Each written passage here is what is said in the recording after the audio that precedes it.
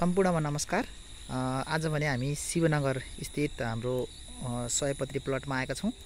र हामीले देख्न सकिन्छ यहाँ भिडियोमा कति देखिन्छ तर अब चाहिँ कोपिला लाउने क्रम सुरु भइसकेको छ। अब चाहिँ भने हामीले यसमा किटा किराहरू चाहिँ थोरै अलिअलि देखेको रहेछ। सकभर हामीले चाहिँ हातबाट टिप्छौँ सकेसम्म तर अलिकति बढी रहेछ भने चाहिँ हामीले चाहिँ जैविक तरिकाबाट चाहिँ किरा अ, फटेङ्ग्रा नभनौँ किराहरू चाहिँ मार्ने प्रयोग गर्छौँ हामीले अब। कोपिलाहरू पनि देखिसकेको छन् फुलहरू पनि एक दुई ठाउँमा फुलिसकेको छन् र चाहिँ अब हाम्रो यो शिवनगर प्रोजेक्ट हो। अब हामी चाहिँ लगभग हाम्रो पाँच ठाउँमा चाहिँ हाम्रो सयपत्री खेती छ यो पालि। त्यहाँ जान्छौँ प्लस हाम्रो अरू अरू सानसानो घर घरहरूमा पनि हामीले थोरै थोरै बाँडेका छौँ। र त्यहाँ पनि गएर हेर्छौँ। के कस्तो छ अवस्था। हस्त धन्यवाद। नमस्ते मलाई गोकिल दाले बोलाएर आउँदै आएको। म एग्री के चितवन एग्रीबाट आएको। होइन यो चितवन एग्री होपले गरेको यो सयपत्री खेती के अरे फुलबाट यसो किरासिरा काहीँ लगाएको देखेर मैले त्यो निम ओइल भन्ने त्यो स्प्रे गर्दैछु। काहीँ काहीँ लगाएँ है फेरि धेरै पनि छैन अब हेर्नुहोस् न तपाईँले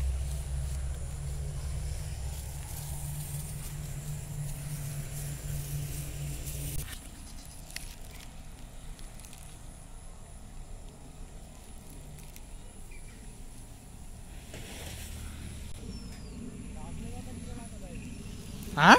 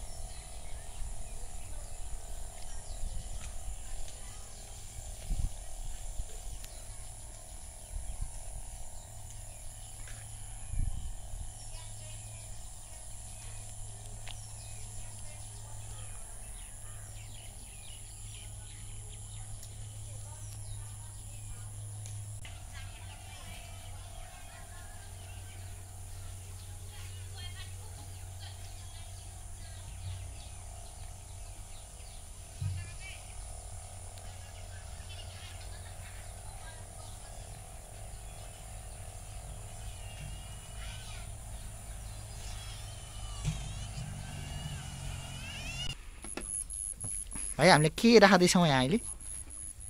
Multi micro micro vitamin sticker किन? निम ओइल हाल्नु भएको ल ठिक छ। जस हामी सुरुमा स्टिकर राख्छौँ त्यसपछि अनि निम ओइल राखेर अनि माइक्रो न्युट्रियन्टहरू पनि राखिदिन्छौँ होइन ल। हाम्रो यो सोह्र लिटरमा चाहिँ कति कति राख्नुपर्छ हाम्रो स्टिकरहरू यो माइक्रो न्युट्रियन्टहरू स्टिकरहरू सोह्र लिटरमा पाँचदेखि छ एमएल। अब भिटामिन त आफ्नो मनको कुरो अब जति हाल्नु भन्नाले त्यही खास गरी बिस एमएल हाल्ने हो। अब दस एमएल हाल्दा नि हुन्छ। आफूले अन्दाज अनुसार। कतिको हाल्न चाहिन्छ आफूलाई त्यही अनुसार। अनि निम त अब त्यही किरा कतिको लाहा त्यही अनुसारले हाल्ने हो। अब फर्मिङ साइडको भइहाल्यो। अहिले यहाँ हजुरहरूले देख्न सक्नुहुन्छ हामीले त्यो कागतीको बोटमा पनि इन्सेक्टिसाइड निम मैलाहरू चाहिँ अनि स्प्रे गरेर आएको छौँ। किनभने अब यतापट्टिको उता नि जान सक्यो फेरि उताको यता नि आउनु सक्यो भनेर। एक दुईवटा बुटहरूमा चाहिँ फुल पनि फुलिसकेको छ।